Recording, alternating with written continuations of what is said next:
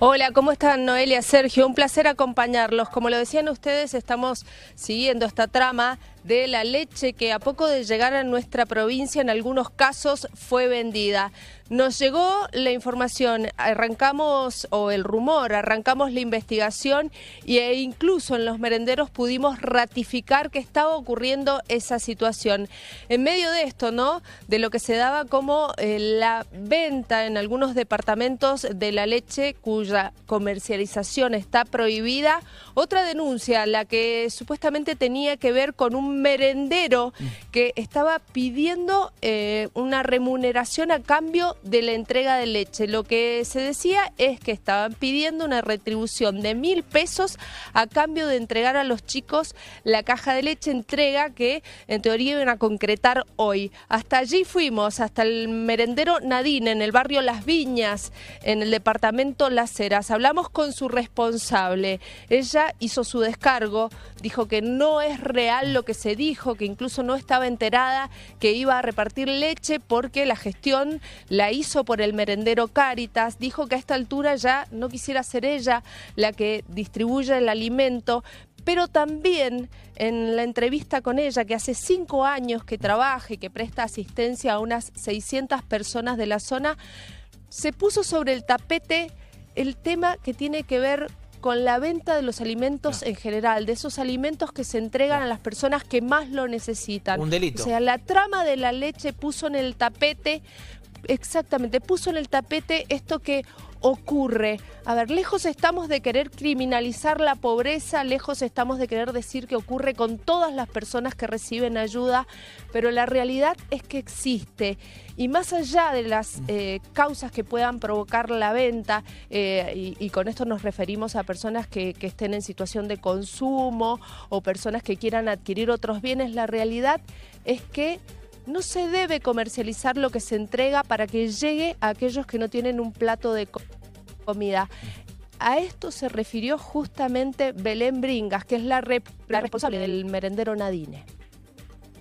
Yo nunca mandé a pedir el tema de la leche, no la mandé a pedir, fue Caritas que intervino por mí, pidieron para 100 niños, eh, ellos, bueno, eh, y bueno, supuestamente nos van a entregar 400, 400 em, kilos de leche para los 100 niños, pero como son tantos niños, me supongo que puede alcanzar para todos. Claro, porque lo que Conin recomienda es entregar cuatro cajas por niño, quizás ustedes la pueden fraccionar de otra forma. Exacto, lamento que me conozcan de esta manera. ¿Qué hay de esta versión respecto de que pedirían una colaboración para la entrega?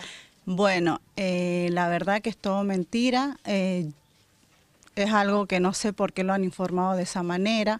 No mando yo hago audios menos pidiendo colaboración ni nada de eso. ¿A esta hora cree que sería mejor que entregue la leche de la iglesia? Y eso en eso estoy hablando con el... Eso les ha pedido. sí, estoy hablando que ellos mismos entreguen la leche para yo no hacerme responsable de algo que como yo le expliqué en su momento, yo no pedí la leche, fuera de lo de la leche, ¿les ha pasado entregar alimentos y que la gente lo, venda o haga algo que, no es lo adecuado? Y pasa mucho, pasa mucho y, lamentablemente uno ve la necesidad y atrás que está el niño. Porque en eso aparte, a ver, hay mucha gente que no está contenida con el tema de las adicciones, y a veces recurre a, los comedores que a veces les damos cosas y bueno, y llevan y cambian por, o por alcohol o por droga, a la, ¿me entiende? Sí, en el gobierno, ¿sabe qué? Se tendría que interesar también en ayudar a las madres a formarlas. Me decía que es una práctica común que se vendan los alimentos entregados. Y lamentablemente sí, eh, esto pasa porque no, no hay un control. Mire, hay a veces que la familia no tiene, no tiene la misma capacidad que otras. Entonces, ¿Dónde comercializan? Y mire, eh, ahí he estado también, dicen que en el Facebook, en el tema de... Mm, en comercios de la zona. Y pueden ser en el mismo barrio. Eh, no le podría ser tan específica porque no... Pero tiene la certeza de que venden las cosas. Sí, lamentablemente sí. Así como uno les entrega a veces las bolsones o las cosas, así lo llevan y se lo venden hasta el vecino. Marisol, cuánta desazón en esta responsable social también, ¿no?